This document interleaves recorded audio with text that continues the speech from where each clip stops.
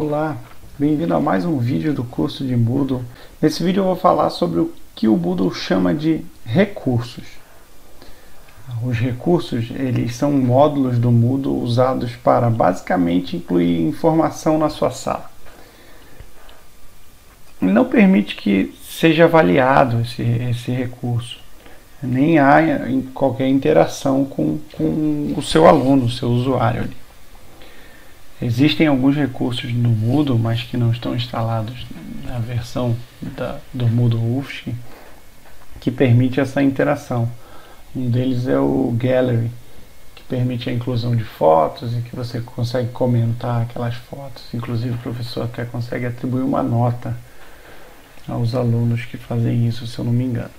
Bom, mas aqui no Moodle presencial da UFSC a gente tem é, basicamente a gente tem basicamente não, nós temos sete recursos. Bom, vou mostrar para vocês aqui os recursos. Ele fica nesse link aqui embaixo. Ó.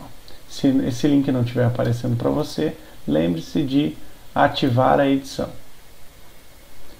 Bom, ao clicarmos nesse link, nós vemos aqui as atividades que existem e essa última parte que são os recursos. Né? A diferença entre as atividades e os recursos é que as atividades permitem essa interação com o usuário. E mais ainda, a maioria dessas atividades também são avaliativas. Permitem que você então atribua um conceito ou uma nota ao seu aluno. Então, vemos aqui sete, os sete tipos de recursos.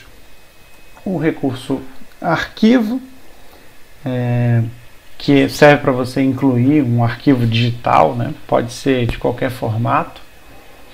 É, temos também o recurso conteúdo do pacote MS. É, o pacote MS é um padrão é, de descrição de conteúdo, de aprendizagem que você desenvolve num determinado é, é, é específico, especificado pela IMS Global como você deve desenvolver esse, esse pacote. Então, basicamente, ali dentro tem conteúdos, né? poderia ser até um teste, em que você pode usar em qualquer programa que reconhece esse, esse pacote IMS. Temos também o livro, né? como o próprio nome já diz, é uma página web que tem um formato de livros, então permite você incluir capítulos e subcapítulos né, dentro dele. É, e a gente usa o editor de texto, né? então ele permite textos, vídeos, imagens, etc. Tudo que pode ser feito ali naquele editor de texto que vimos anteriormente. Temos também é, o recurso página, é uma página da web que você edita usando aquele editor de texto. Né? Então, novamente, usou aquele editor de texto, permite a inclusão de é, imagens, vídeos, é, formatação do texto com coloridos, etc. Temos o recurso pasta. O recurso pasta é como a gente está acostumado nos diretórios né, do seu sistema operacional, seja ele o iOS né, do Mac ou do Windows, o Windows Explorer ou do Linux, as diversas tipos de diretórios que que a gente encontra. Né? Então aqui você pode inclusive incluir pastas e subpastas com arquivos dentro do, do, desse recurso. Temos o recurso rótulo.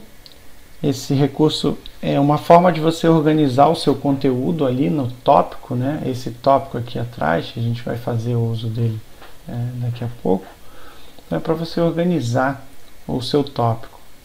E o URL, que é um recurso que permite você fazer um link né, a algum conteúdo, alguma página web externa do Moodle.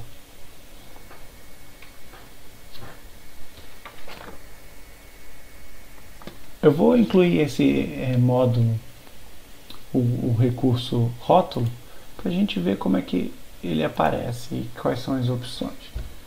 Então, ao incluir o módulo, o recurso rótulo, ele aparece também no nosso editor de texto, isso nos permite fazer, incluir qualquer é, dos recursos permitidos por ele, como imagens e vídeos ou arquivos, né? eu vou fazer só a inclusão aqui de um rótulo para dizer que é a parte 2 do tópico 1. Um. Eu vou fazer uma formatação rápida aqui nele, colocar um, um colorido. É, verde que ele vai estar tá pintado atrás de vermelho. Não ficou bom, né? Vou pintar atrás de um azul claro. Bom, assim. E as configurações comuns que a gente vê aqui. Vou salvar e vocês vão ver ó, que esse módulo, esse é, rótulo, nada mais é do que uma divisão ali, um espaço que você pode incluir né, no seu curso, no seu tópico. Aqui ó, a gente tem um exemplo, ó, isso aqui é um, um rótulo desse, do curso de Moodle básico. Tá? Então, isso aqui é um rótulo. Ok?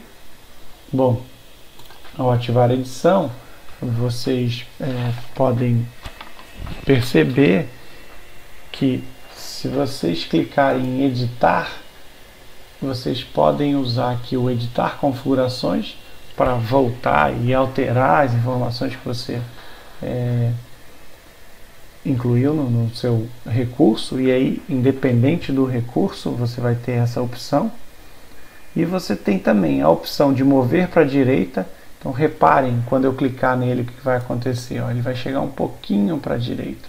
Eu posso fazer essa. É, é, levar ele para a direita quantas vezes eu quiser, assim como voltar lá para o início. Se eu clicar no ocultar, ele não vai ficar visível para o aluno. Você vê o recurso, mas o aluno não vê. Então aqui o olhinho fechado significa que ele está oculto o olho aberto ele está é, visível para os alunos.